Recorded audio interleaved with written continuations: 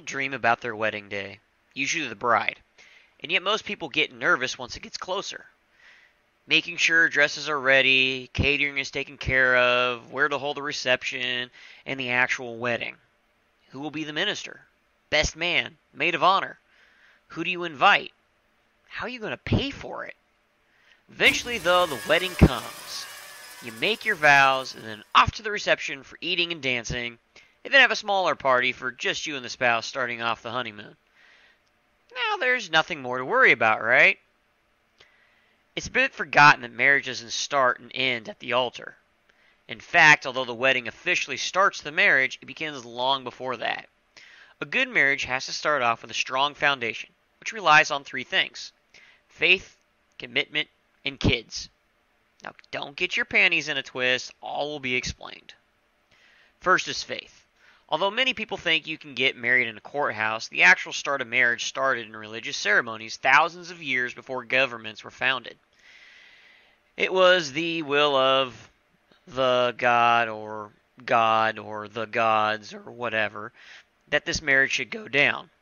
And there was a big ceremony that would occur. Although weddings have changed over the years and with different religions, they still have several similarities. First, there's the officiator, some kind of minister or priest. It also takes place before God or gods and man, with a minimum of two witnesses to say it actually happened.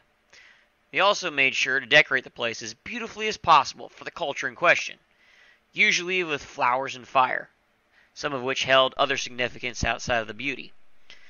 People show up in fancy clothes, some so fancy that they are only worn for that particular wedding. Although men usually wear dark clothing, they often wear a small flower in plain view. The women usually wear something in bright colors. What's with all the light and beauty, you ask? Well, it was a representation of God or gods. How many religions do you know where the good people went to some dark place after dying? This wedding was going to bring the groom and bride as close to heaven as they were going to get before dying, and you made sure to do it right because you only had one shot. That brings us to the second point. No marriage lasts without commitment. Although modern society has brought it down to a simple contract, that alone shows some kind of commitment. These two people are no longer free spirits, but become one flesh. They share a home, money, heartaches, joys. They even share family, the infamous in laws. When you get married, you now have two fathers and two mothers, and a whole slew of new brothers and sisters. Many cultures have to get permission from the father of the bride before the wedding will even happen, and most men are not willing to ask for a daughter's hand in marriage from a loving father unless they plan on sticking it out or facing the dire consequences. If one looks at bad marriages and especially divorces, the commitment is definitely missing. It's not often that someone who divorces doesn't eventually remarry.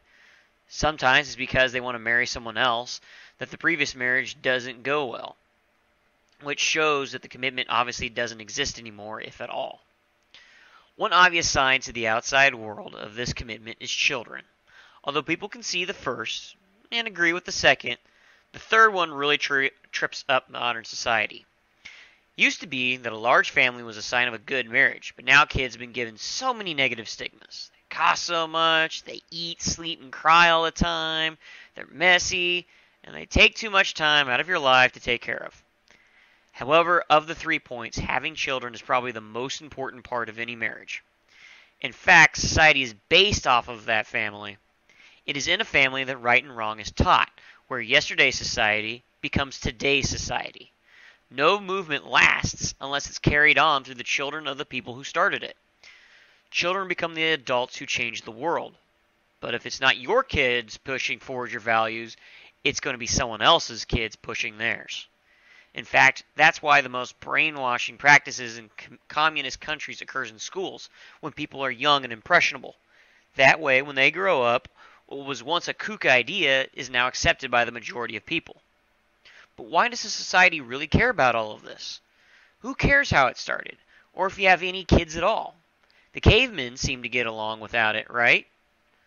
Well, to begin with, if they really did so well, we'd still be cavemen, right? Secondly, societies and government were, are built on family, whether they remember it or not. More people are likely to care for their own family before a stranger, and they learn what care is by being part of a family.